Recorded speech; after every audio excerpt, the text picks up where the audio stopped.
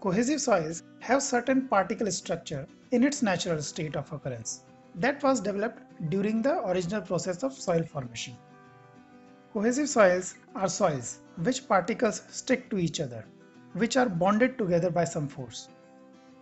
Soil structure means the geometrical arrangement of soil particles in a soil mass. Engineering properties and behavior of both coarse-grained and fine-grained soils depend upon this soil structure. When such soil is disturbed by loading or transportation, it is remolded. And due to the remolding, soil's engineering properties change considerably. It is observed that cohesive soils upon remolding lose some of their strength. The loss of the strength of a soil upon remolding is partly due to change in the soil structure and partly due to the disturbance caused to the water molecules in the adsorbed layer. A term called sensitivity of soil is defined to measure the loss in the strength of soil as a result of remolding. Sensitivity is denoted as ST and it is defined as the ratio of the unconfined compressive strength of a specimen of undisturbed soil to the unconfined compressive strength of a specimen of the same soil after remolding, but possessing the same water content. The unconfined compressive strength is the maximum axial compressive stress that a cylindrical sample of material can withstand and it should not be confined in any container. That is, there must not be any lateral stress. It is also known as uniaxial compressive strength of a material because the application of compressive stress is only along one axis of the sample.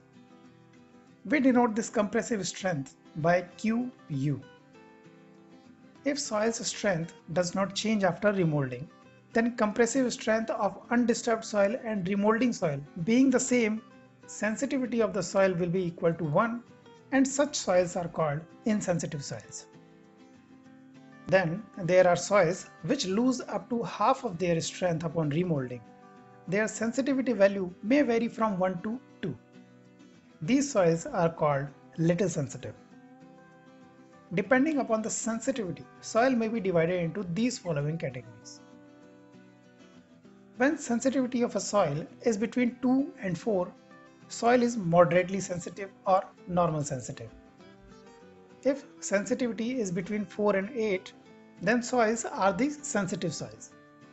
On remolding, these soils lose more than 75% of their strength. Sensitivity between 8 and 16 are the extra sensitive soils and soils having sensitivity higher than 16 are called quick clays. They are unstable and they collapse when overloaded. High sensitive soils are not desirable for foundation. Soils generally have a sensitive value 1 or greater than 1. But if stiff soils have fissures or cracks, it may sometimes exhibit a sensitivity value of less than 1 because these cracks present in the undisturbed soil may be removed upon remolding. Hence, their strength will increase after remolding. Read sensitivity of soil on elementaryengineeringlibrary.com. Link is in the description. Thank you.